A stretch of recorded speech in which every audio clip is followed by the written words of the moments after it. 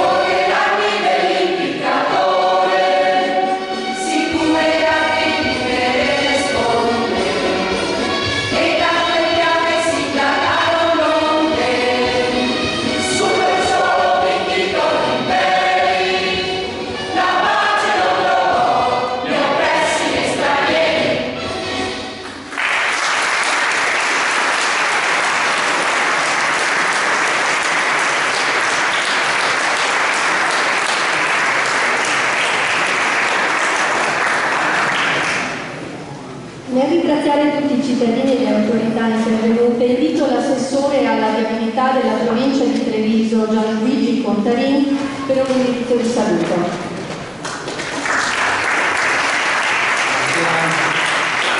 Rapporti e saluti del Presidente della provincia, all'amministrazione comunale, al signor sindaco, all'assessore della cultura, a voi tutti, per questo importante momento legato alla storia, soprattutto riguarda, che riguarda soprattutto questi luoghi, questi, museo, questo, questo luogo importante. Veramente sta dando al merito all'amministrazione comunale per avere adesso vedremo eh, dato vita a questo, a questo progetto memoriale di Veneto perché ricordiamo quei giovani eh, veramente non ancora maggiorenni e sicuramente grazie al loro contributo, loro, al loro slancio di, di, di, forza e, e, hanno dato la, la vittoria e soprattutto la libertà al popolo italiano. Quindi grazie per quello che fate, le iniziative sono tante, io vengo spesso qui a Vittorio Veneto che ovviamente ha dato merito all'amministrazione comunale che si impegna, soprattutto non solo per chi eh, ha una certa età, ma soprattutto verso i giovani perché questo deve essere eh, l'intento e la volontà di entrare nelle scuole e far conoscere Grazie e buona, buonasera.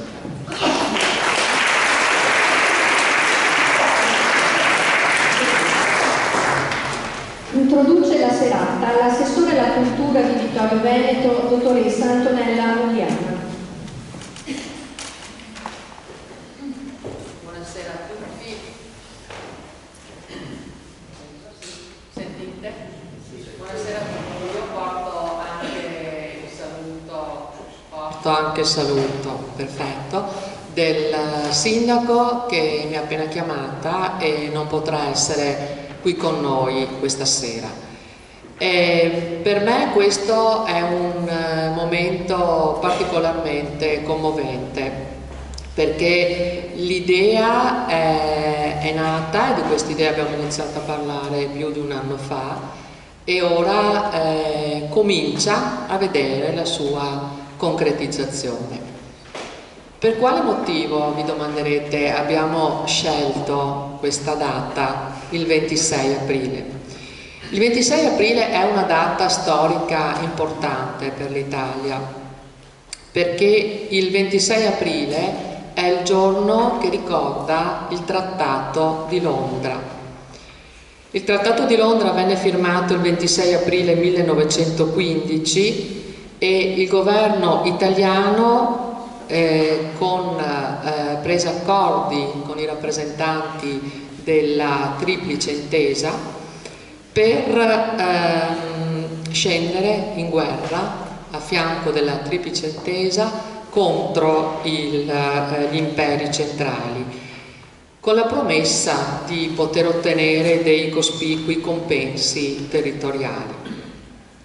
Infatti esattamente dopo un mese, il 24 maggio 1915, l'Italia scese in guerra. Gli anni successivi sono storia che tutti noi conosciamo. Ma la guerra finisce nel 18 e Vittorio Veneto è la città che ricorda la fine della guerra non soltanto all'Italia intera ma anche a livello europeo. È il simbolo della Grande Guerra e della fine della Prima Guerra Mondiale. E fu questa una guerra importante, una guerra per cui il popolo italiano ha dato un grandissimo tributo in termini di sangue reso. Vi do alcuni numeri solo per ehm, pensare e considerare che cosa può essere stata la prima guerra mondiale per l'Italia.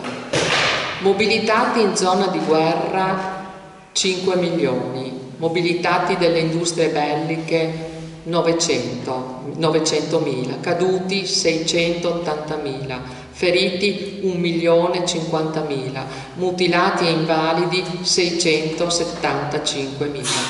Possiamo quindi dire che in ogni famiglia un figlio, un padre, un marito partirono per il fronte. E l'idea di questo memoriale dei Cavalieri di Vittorio Veneto vuole proprio ricordare tutto ciò.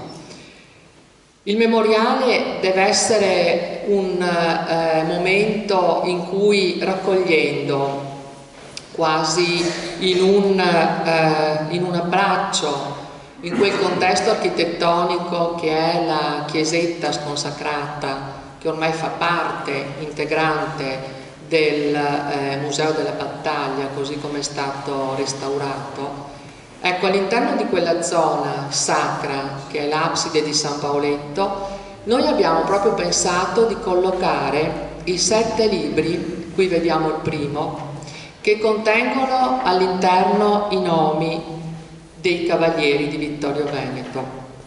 14.700 per la provincia di Treviso e sono tutti raccolti qui. Poi arriveranno gli altri a completare questa raccolta, ad unire definitivamente in questo appunto abbraccio simbolico all'interno di questo spazio sacro gli altri soldati. Mi fa piacere in questo contesto ricordare, anche perché qui c'è la figlia, ricordare Enrico Talin, Enrico Talin che dal 1971 fu il presidente nazionale dell'Associazione Cavalieri dell'Ordine di Vittorio Veneto ordine che prese corpo anche per la volontà strenua di eh, questo eh, personaggio così importante per la nostra città.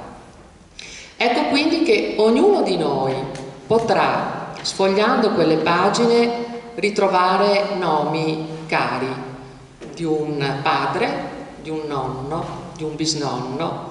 Io questa emozione l'ho già provata perché prima ho sfogliato queste pagine e ho trovato il nome di mio nonno, cavaliere di Vittorio Veneto, che ricordo ancora nel momento in cui era il 68, io ero ancora piccola e non riuscivo probabilmente a capire il senso e il significato di questa onorificenza che adesso mi è ben chiara.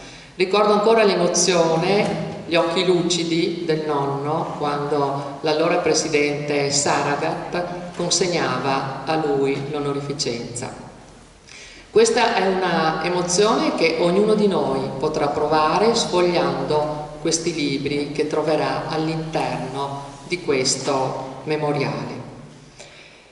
Ecco quindi che per noi il memoriale ha il significato importante della memoria, della gratitudine che non deve mai morire. Grazie.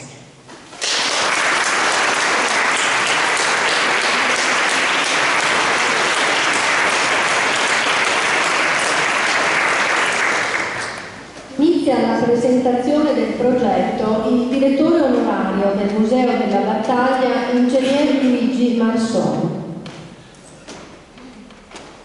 Nella parte absidale della settecentesca chiesa di San Paolo al piano, a fianco della loggia del Cinedese, ora Museo della Battaglia,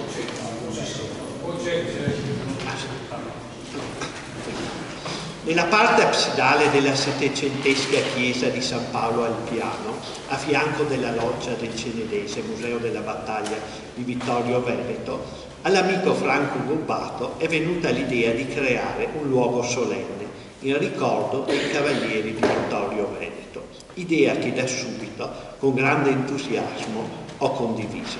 Il presbiterio della chiesetta, ora destinata ad esposizioni temporanee di pertinenza del museo, conserva intatto la sacralità del luogo. Ove il volume racchiuso dalle superfici curvilinee del catino absidale evoca l'assenza di limiti spazio-temporali, immagine di immortalità.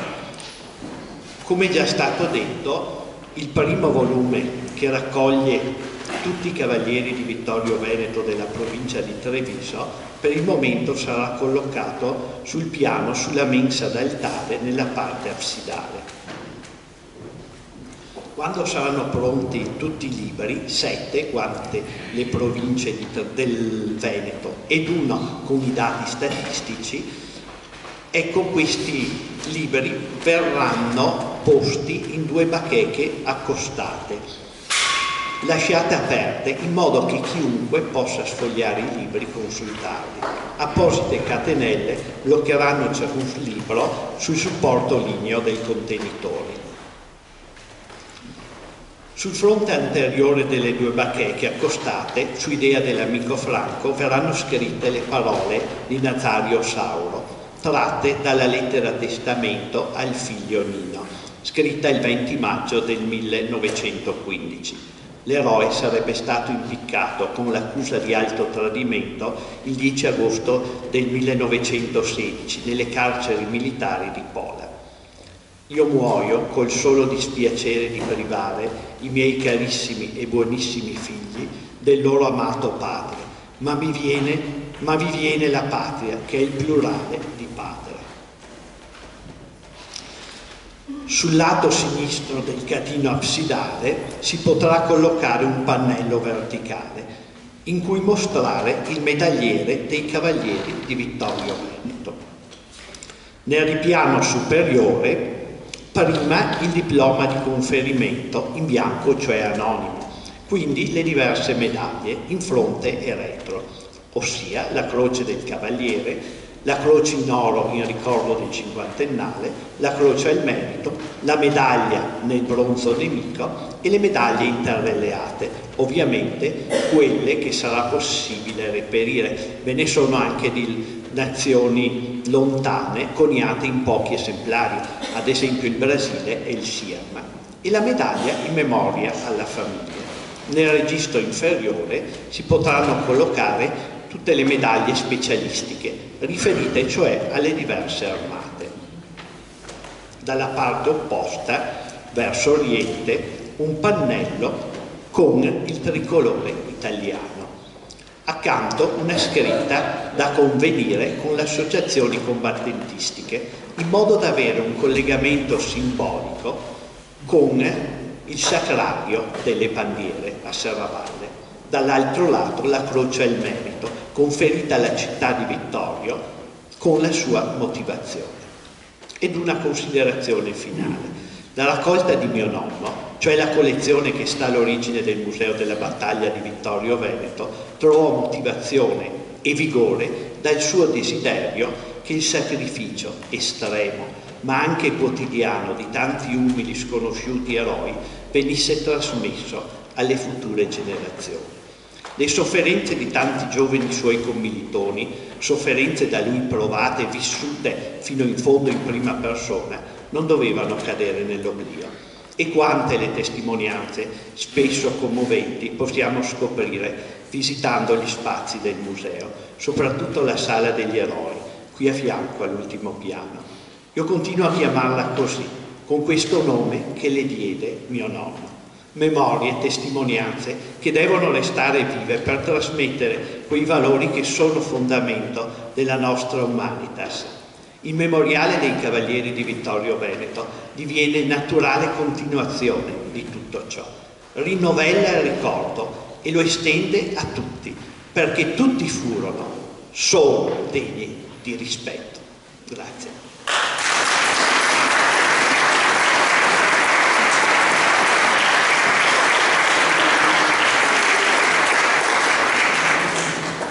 Prosegue nella presentazione del progetto il ricercatore ed autore dei libri Franco Giuseppe Gombato. Grazie. Eh, permettetemi innanzitutto di porgere dei ringraziamenti, dei ringraziamenti a tutti coloro che hanno contribuito e contribuiranno alla nascita di questo memoriale. Innanzitutto a chi ci ha creduto per primi e sono qui seduti a fianco a me, uno è l'assessore della cultura Antonella Uliana, l'altro è il direttore onorario del museo Marson Luigi, ma anche un ringraziamento a chi ha contribuito finanziariamente e contribuirà, contribuirà finanziariamente alla realizzazione del memoriale e sono l'Istituto per la Storia del Risorgimento Italiano, il Comitato di Treviso e il Circolo Vittoriese di Ricerche Storiche al quale io appartengo e eh, ringrazio in particolare la Presidente, la dottoressa Loredana Imperio. La ricerca eh, non è stata facile e chi mi ha permesso di recuperare i dati eh, è stato il tenente colonnello Carlo Venditti, che è capo della quinta sezione del servizio ricompense e onorificenze del personale militare di Roma. Eh, fra le altre cose eh, mi va di ringraziare anche per la riuscita della serata il coro alle estesi, in particolare il mio gancio del coro che è il vicepresidente Rosantonio e eh, chi ha creduto subito e ha messo a disposizione anche degli spazi per la realizzazione fin dall'inizio. Eh, e cioè eh, nel sacrario delle bandiere di Serravalle vi, già, eh, vi, sono già esposti i nomi dei cavalieri di Vittorio Veneto di Vittorio Veneto, quelli che io ho chiamato dall'inizio scherzosamente i cavalieri di Vittorio Veneto alla seconda e ehm, in particolare il presidente delle associazioni combattentistiche eh, Ludovico Domini. E detto questo, eh, immagino che fra di voi ci sia qualcuno che si sta chiedendo quale turbe psichica possa colpire una persona all'apparenza normale per andare a caccia di oltre 87.000 nomi, metterli assieme e creare dei libri, o perlomeno quale ne sia la motivazione. La motivazione va ricercata, eh, risale a circa un anno fa, quando avemmo eh, l'onore e il piacere di avere ospite sia qui sia alla scuola elementare, eh, scusate, a motivo dell'età dico elementare ma sono primarie adesso, alla scuola primaria eh, Nazario Sauro di San Giacomo di Veglio avevamo ospite eh, l'ammiraglio Romano Sauro, nipote eh, dell'eroe eh, Nazario Sauro. In quell'occasione un bambino che è qui presente, eh, Emanuele eh, Piotusa, eh, aveva una voglia incredibile di mostrare il diploma di cavaliere del proprio nonno, anzi del proprio bisnonno, partenopeo fra l'altro, e che combatté qui in zona e ferito fu curato, guarda caso, proprio nell'ospedale di Serravalle. E eh, questo mi ha eh, portato, eh, mi ha dato l'ispirazione perché mi ha fatto notare due cose. La prima che eh, siamo già alla generazione dei bisnonni, quella generazione che genealogicamente ormai inizia a entrare nel dimenticatoio, perché quanti di noi conoscono effettivamente chi erano i bisnonni. La seconda è inevitabile l'amore eh, dimostrato, da qui la necessità e la volontà di creare un luogo per la memoria eh, di queste generazioni che tanto hanno dato e che tanto ci hanno dato. Devo dire che eh, considero un onore eh, il fatto che eh, questo atto d'amore sia stato fatto proprio dall'amministrazione comunale di Vittorio Veneto che ovviamente eh, con la realizzazione di questo memoriale, come diceva giustamente il Presidente onorario, chiude anche con logica il percorso museale. Ma andiamo a vedere nello specifico chi erano i cavalieri. Allora, i Cavalieri eh, fu istituito una, eh, una, legge per esprimere la gratitudine della nazione a quanti avevano combattuto eh, nella guerra 14-18 e nelle guerre precedenti. E questo è eh, questo specifica maggiormente, qualora ve ne fosse la necessità, che eh, la prima guerra mondiale è a tutti gli effetti eh, l'ultima guerra del risorgimento. Allora, eh, nel, con la legge 18 marzo del 68, numero 263, viene, eh, viene istituito l'Ordine dei Cavalieri di Vittorio Veneto, pubblicato nella Gazzetta Ufficiale il 2 aprile e vigente dal 17 aprile del 68 è una, legge che ha sette articoli molto rapidi, eh, molto veloci. Nel primo, nel primo, articolo si dice che per servizio militare di sei mesi nella guerra 14-18 oppure nelle guerre precedenti viene concessa una medaglia ricordo in oro. La presentazione della domanda eh, deve essere fatta tramite il comune di residenza al Ministero della Difesa, quindi non parliamo ancora di cavalierato. Il secondo articolo è l'articolo che istituisce l'ordine, infatti viene istituito l'ordine di Vittorio Veneto con un'unica classe, quella di cavaliere, eh, che viene assegnato a tutti i combattenti che nel 14-18 o in guerre precedenti sono stati decorati della Croce al merito di guerra, oppure ne avevano il diritto e possono dimostrare che ne avevano il diritto. E si dice nel secondo articolo che le insegne sono una croce metallica con un nastrino. L'articolo 3 definisce eh, che capo dell'ordine è il Presidente della Repubblica, che l'ordine è retto da un consiglio dove vi è un Presidente che è un generale di corpo d'armata e quattro membri ufficiali generali o ammiragli, o più il Presidente dell'Associazione Nazionale Combattenti. Tutti, tutti, questi vengono nominati dal Presidente della Repubblica su proposta del Ministro della Difesa. L'articolo 4 eh, indica invece che l'onorificenza viene concessa dal Presidente della Repubblica su proposta del Ministro della Difesa e che gli interessati devono presentare domanda all'ordine tramite il comune di residenza, quindi gli elenchi che noi abbiamo non sono degli elenchi in base al comune di nascita, ma in base al comune di residenza all'atto della richiesta eh, dell'onorificenza.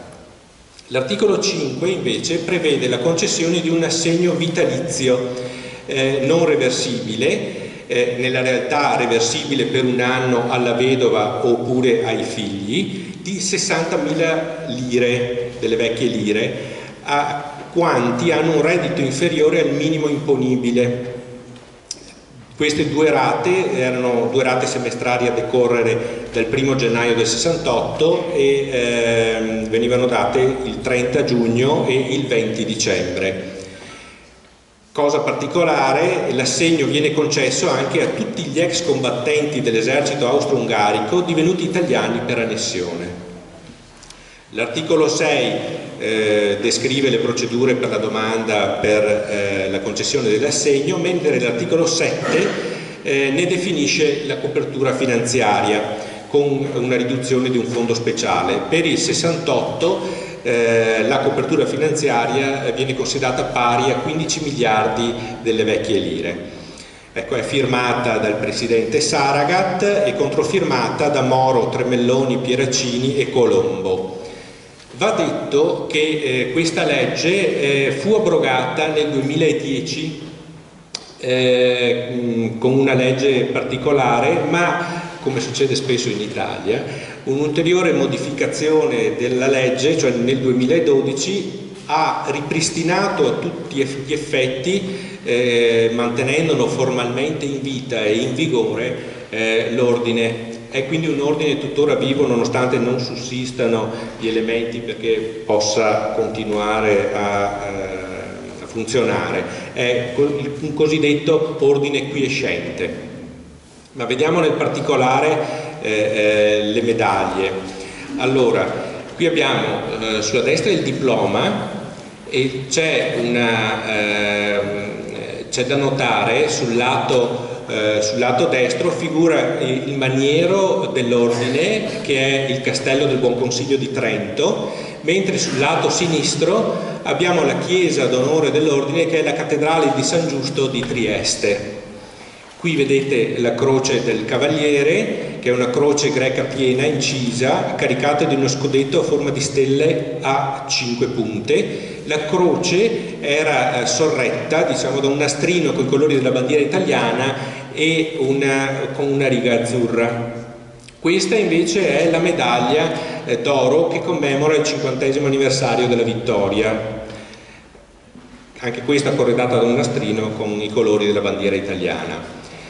Eh, tutti i cavalieri o gran parte di chi ha combattuto nella prima guerra mondiale aveva una, una specie di eh, medagliere eh, che io ho definito più volte povero, fra virgolette, perché è comune a tutti quanti, e eh, comprendeva eh, queste medaglie che voi vedete qui.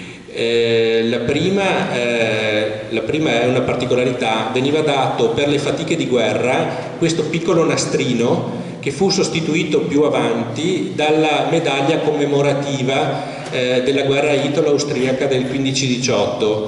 Questa medaglia ha una particolarità che è, eh, che è anche eh, stampata nel retro eh, diciamo della medaglia, è fusa nel bronzo nemico perché eh, doveva essere fusa col bronzo delle artiglierie tolte al nemico.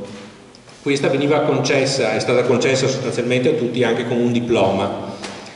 Qui vedete la croce al merito, eh, la particolarità è il nastrino eh, che la distingue da quella al valore, che il nastrino è azzurro eh, a righe azzurre e bianche.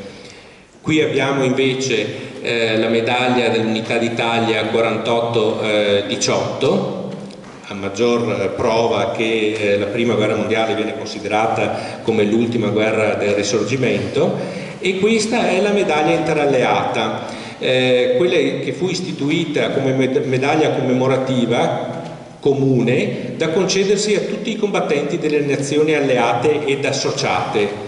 Praticamente c'è un conio per ogni nazione eh, e il nastrino invece rimaneva uguale. Per curiosità dirò che le, eh, vi leggo le nazioni alleate e associate, sono il Belgio, oltre all'Italia ovviamente, il Belgio, il Brasile, Cuba, Cecoslovacchia, Francia, Gran Bretagna, Grecia, Giappone, Polonia, Portogallo, Romania, Siam, Sudafrica, Stati Uniti d'America. Eh, bisogna dire che eh, oltre a queste medaglie vi sono ovviamente anche delle medaglie ad personam che sono, eh, possono essere state le medaglie al valor militare oppure quelle concesse alle madri dei caduti in guerra o, o agli orfani.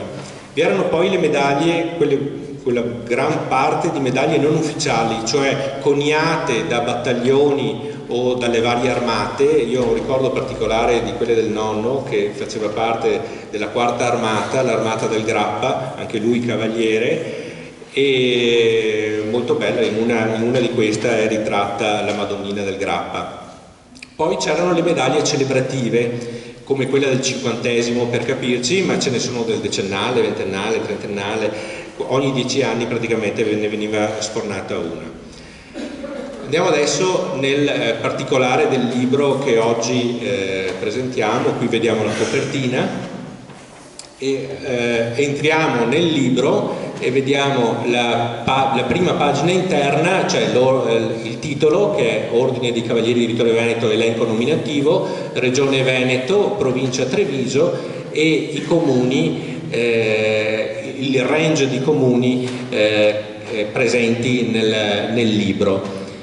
Eh, poi c'è eh, il ringraziamento alla concessione eh, dei dati, qui vedete il nome eh, del, dell'ufficio eh, che ha concesso eh, i dati, ve lo leggo perché come tutti i militari hanno degli uffici molto lunghi e complessi, il Ministero della Difesa, Direzione Generale per il Personale Militare, Terzo Reparto, Servizio Ricompense e Onorificenze, quinta sezione Ordine di Vittorio Veneto, che è esistente tuttora, come dicevamo prima, e ringraziamento al tenente colonnello Carlo Venditti e eh, ringraziamento a quanti eh, hanno contribuito, cioè all'Istituto per la Storia del Risorgimento Italiano, Comitato di Treviso e al Circolo Vittoriese di Ricerche Storiche.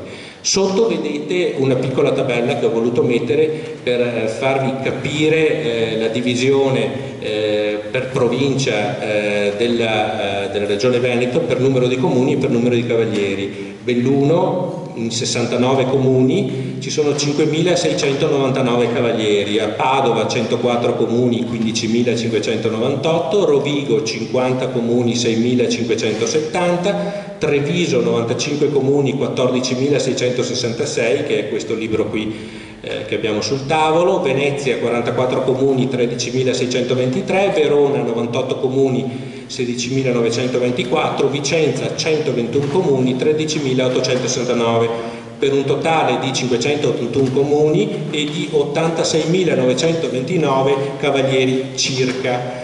Dico circa perché come menzionava prima eh, eh, il direttore onorario, manca eh, l'ottavo libro che sarà il libro eh, statistico, perché eh, ci sono delle concessioni che a motivo del cognome, a motivo della via probabilmente sbagliata all'inizio, sono state fatte due volte o possono essere state fatte un paio di volte, per cui i numeri qui espressi sono, eh, non sono precisi. Eh, diverranno precisi nel momento in cui ci sarà l'aspetto statistico.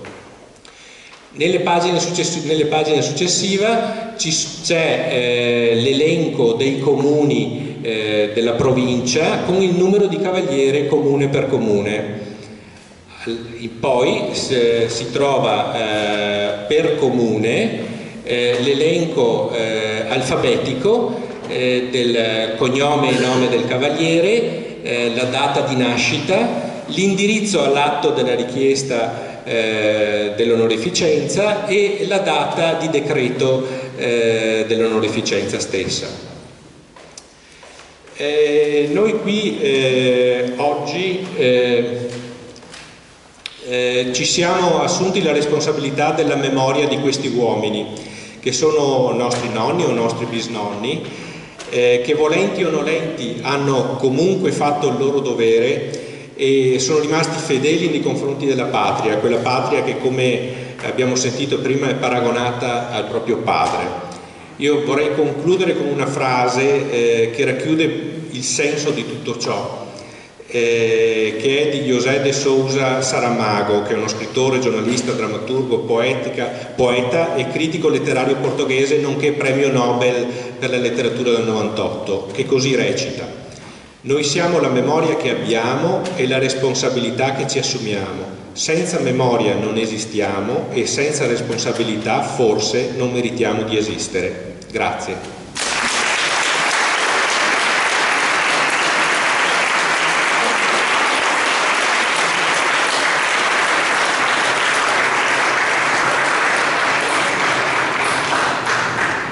procedere con il programma, eh, se qualcuno vuole fare qualche domanda, possiamo riservare qualche minuto, penso, no?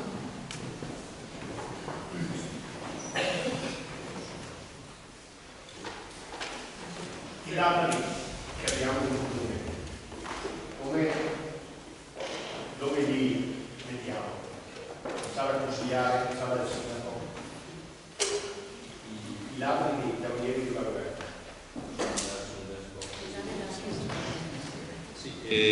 Eh, sono già esposti al, ehm, nel Sacrario delle Bandiere a Serravalle i labari. Le, dei comuni eh, che ci sono pervenuti sono esposti lì. C'è una bella esposizione che vale la pena di essere vista sicuramente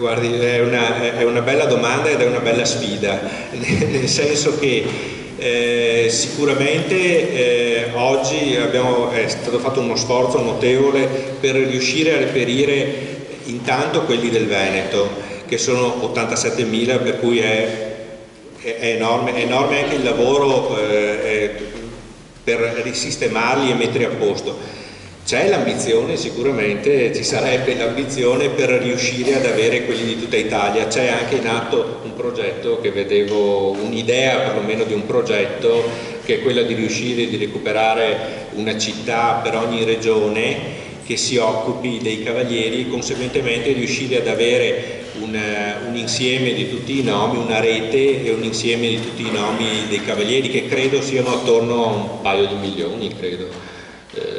Come in termini di numeri. Comunque l'applauso va per tutti i cavalieri. Beh, certo, quello senz'altro, quello senz'altro, quello senz'altro.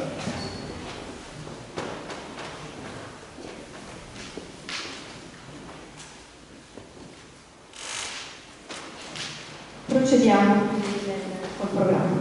Il coro ali estese intonerà ora la canzone Stelutis Alpinis uno di quei canti che riportano alla memoria i dolori e i sacrifici vissuti durante la guerra e allo stesso tempo ci offre parole di pace, amore, serenità, speranza e fede nel futuro.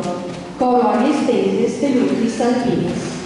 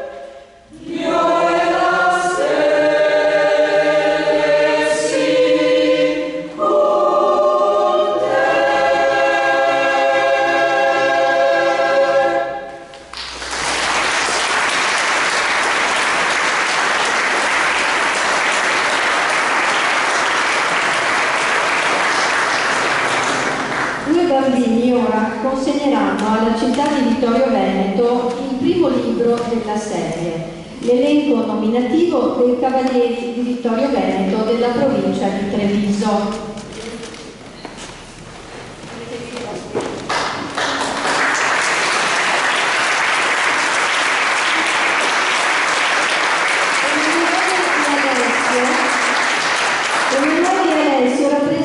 simbolicamente le nuove generazioni, il futuro, che grati e memori dei sacrifici fatti dai loro nonni e bisnonni racchiudono in questo gesto la volontà della memoria. E riceve quindi il volume l'assessore Antonella Uliana per l'inserimento nell'abside chiesetta San Paoletto.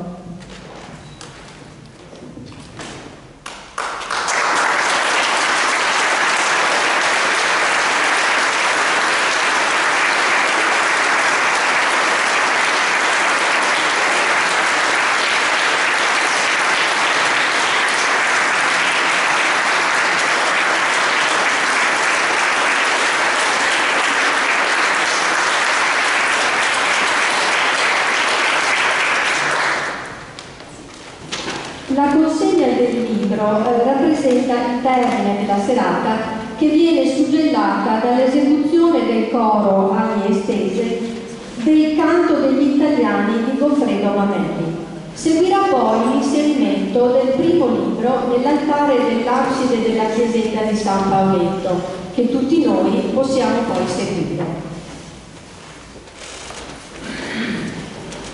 Coro ali estese eseguirà il canto degli italiani di Goffredo Mamelli,